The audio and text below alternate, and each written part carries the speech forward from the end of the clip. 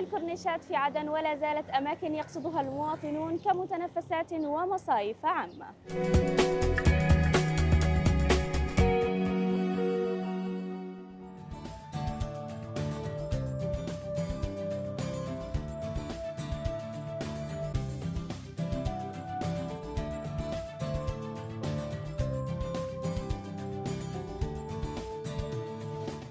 بشغف وحب كبيرين. اكتسبت هبة ناظم خبرة واسعة في صناعة البخور وأنواع العطور. وخلال ستة أعوام فقط استطاعت أن تؤسس مشروعها الخاص في مدينة اشتهرت بصناعة البخور.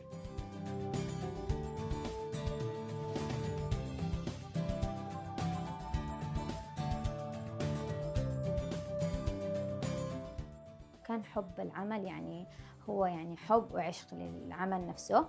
يعني فكان في بداية الأمر أحب إني أقرب أستطلع أسأل أتعلم. يعني كنت دائما معي دفتر ملاحظاتي مع القلم على طول معي وأسأل أهلي أسأل الناس. كنت يعني أستفيد من خبرات الجدات. بداية الأمر كنت أشوف الوالدة الله يحفظها تعمل. كنت أسأله أحب أعمل أحب أشوف إيش تصلح يعني بدأت يعني كان عندي حب شجن زي ما قلنا حب العدني. شجنت إنني كيف أعمل إيش اصلح كنت خلاص أخذت الفكرة منه أخذت الفكرة من ناس كثير يعني. الحمد لله بدأت أصلح آه بعدين كلمت زوجي. قال لي آه يعني ليش يا هبة ما تاخذيش العمل هذا كعلامة تجارية؟ آه قلت له والله فكرة حلوة يعني. بدأت أفكر بك كعلامة تجارية. يعني في بداية الأمر كان يعني عادني بداية كنت عادني صغيرة إني عادني دروس ثانوية. فكانت الفكرة يعني مش مقبولة لدى الكل. بس الحمد لله يعني بدأوا يتقبلوني أول ما شافوني أنا مصممة على العمل.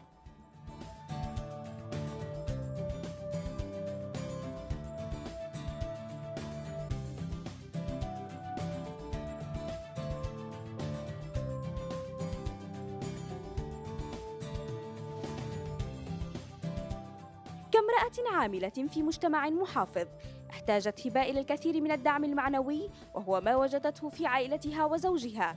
غير أن إصرارها على العمل وقدرتها على مواجهة التحديات فتح أمامها أبواب النجاح لينتشر عبق بخورها في نطاق جغرافي واسع امتد إلى خارج الوطن كعلامة تجارية مسجلة.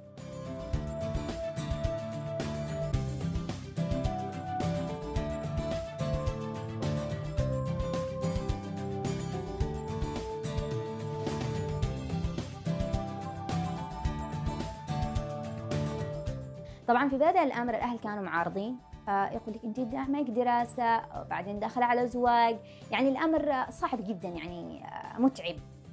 كيف انت تشوفي نفسك؟ قلت لهم أنا يعني مصمم صار صممت اصررت بعدين زوجي الله يحفظه هو كان داعمني جدا جدا جدا. يعني كان يقول لي آه، دام انك تحب الشغلة؟ هي خلاص بتبدعي به قلت له أيوه أنا ما أحبش إني يعني أجني مال قد ما أحب إني أجني يعني سعادة على الناس. يكفيني الكلمة من الزبون يقول لك أنا ارتحت لما شميت حاجة كذا كذا. يعني تحسي إنه الوضع غير.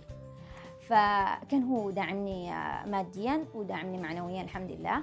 بدأت مشواري آه، وتوفقت. وبعدين مع انحى المجتمع الكبير اللي هو طبعا العملاء فهم كان الداعم الرئيسي والأساسي في منتجات يعني حتى كانوا كنا بيني وبينهم علاقة الصداقة إن إحنا كنت أقول لهم اعطونا يعني إيش آه، آه، يعني أنتم كيف تشوفوا المنتجات بالنسبة لكم؟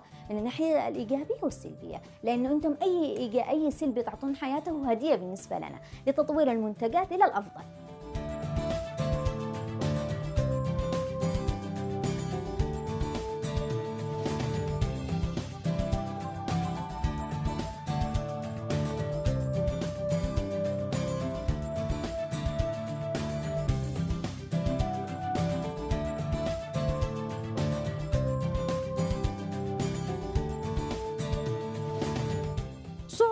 كثيرة لا زالت تواجه هبة ناظم ضاعفتها حرب الانقلاب التي أثرت كثيرا على المشاريع الصغيرة وعطلت حركة التجارة والسياحة وكان لذلك أثر على هذا النشاط التجاري الوليد.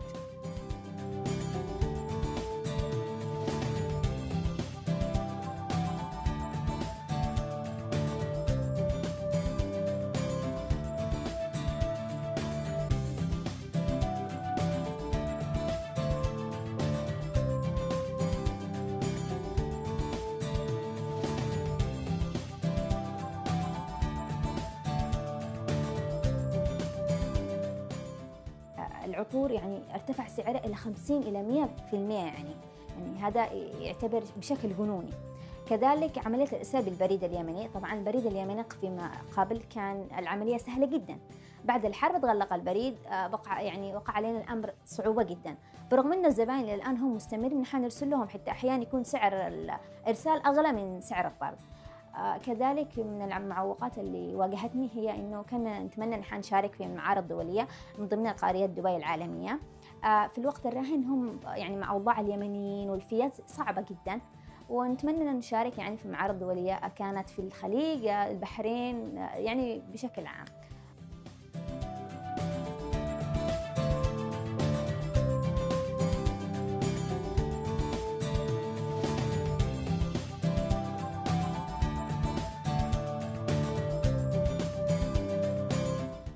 صناعة البخور تمر بمراحل عدة قد يستغرق مدة بعضها العام والأهم من ذلك الإمكانيات التي تتطلبها هذه العملية.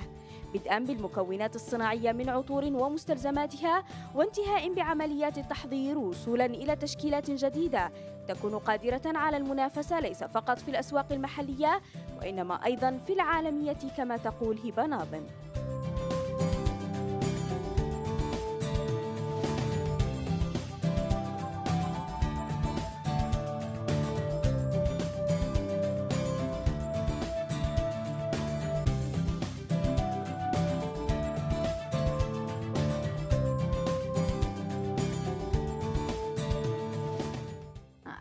ناحية العطور الأفكار طبعا أنا عندي خطة إنتاج سنوية تتلخص بأنه مثلا شهريا يكون عندي نوعين ثلاثة أنواع من العطور. يعني دائما أحب إني أبتكر إيش هم العطور أشوف إيش اللي يتجانس ده مع هذا. يعني هو كله بنسب. طبعا أحيانا يكلفني العطر الواحد أعمل له ثمانية. أنواع من العطور بنسب مختلفة. أحيانا 10 أحيانا 15 أحيانا 20 نوع من العطور يعني يكون يعني أغير من العطر تماما يعني يكون اسم جديد. يعني زي ما الآن في بداية الأمر يعني عاد نحن دخلنا في هبابة عدن. ابتكرت يعني عطر أنا وكان سيما وعطر البخور. ما شاء الله من أول مرة ضبطت معي. يعني ورغم إنه خلطاته ما هي مش سهلة ابدا. يعني العطر الواحد أقل كمية له أربع عطور يوصل إلى عشرة من أنواع العطور بهذا زي ما قلت لك عطر أنا وسيما والعطر البخور. من أول مرة ما شاء الله. وكذلك البخور يعني حتى بخلطاتنا البخور نعمل حوالي 10 15 نوع من العطر إضافة للعطور الداخلية يكون غير العطور اللي فوق يعني آه هو عملية ابتكار إنك أنت تحبي الشغلة كل ما حبيتي الشغلة كل ما أبدعتي أكثر. آه طبعا دي بعض من منتجاتنا إحنا من البخور. هذا بخور الملوك طبعا سعر القرص 30 ألف يمني زي ما أنتم شايفين. كمان مع نحن هذا بخور زمردة جديد دي أنواع جديدة طبعا معتقة. طبعا كل ما كان البخور معتق كل ما كان حلو. سعر القرص عشرين ألف.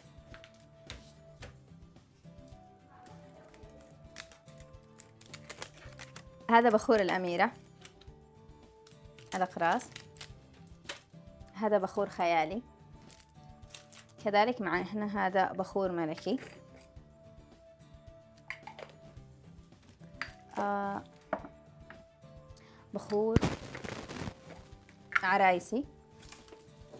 هذا طبعا العود الملبس.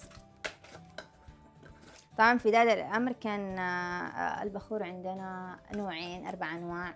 الآن قد معنا أكثر من عشرين نوع. آه هذه طبعا بعض من أنواع الطبخات العرايسية تجي هكذا كبيرة.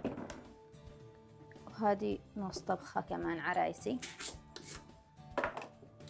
طبعا نحفظها بالقصدير عشان ما يتعرضش الهواء.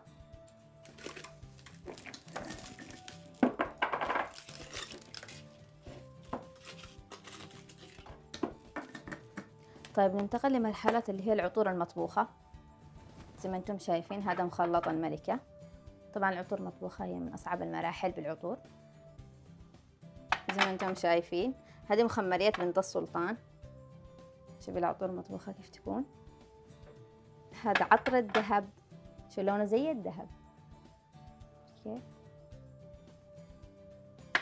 هذه العبوات الخاصة طبعا تبعهم. هذه مخمرات بنت السلطان معتقة قريبا لسنة مدفونة تحت الأرض بالتراب. آه سعر حق الدولة تقريبا تطلع ثمانية ألف ريال يمني. محمرة جدا عشان هي زعفران على عود تدفن تحت الأرض لأن عشان ما تعرضش للضوء. ولا لأي يعني شيء آخر. فينتقل لها عطر جديد. طبعا تكون هو كل ما كان تعتيق العطر طباخات العطر مختلفة كل ما كان السعر تختلف. يعني أحيانا يكون عطر خلطة عادية مش مكلف علينا وقت ولا جهد. عكس لما يكون عملية دفن عكس لما يكون عملية آه، تبخير على تعطير على يعني تخمير. أحيانا قيس نخمر العطر ثمانية شهور سبعة شهور. كل ما كانت آه، مكونات البخور العدني ذات جودة ممتازة مرتفعة كل ما أعطانا البخور العدني ريحة غير. يعني دائما نعرف الروائح زمان غير الروائح. يعني آه اللي هي تكون آه مبتكرة. يعني مثلا البخور العدني معروف إنه هو بالعود بالضفري بالعطور الممتازة. زي ما نعرف إنه أسعار العود قد توصل من 100 إلى 1000 إلى 2000 دولار. يعني معروف أسعار العود مرتفعة. إضافة إلى العنبر الرئيسي هو مكونات البخور الرئيسية. يعني كل ما كانت مكونات البخور ممتازة كل ما كان جودة البخور أفضل. تطمح هبة ناظم بأن تصبح سفيرة للبخور العدني وتحلم بالعالمية وهي تسعى جاهدة للوصول إلى هذا الحلم بالاجتهاد الدائم والعمل الدؤوب متناسية المصاعب والعراقيل سائرة بخطوات ثابتة نحو المستقبل المنشود.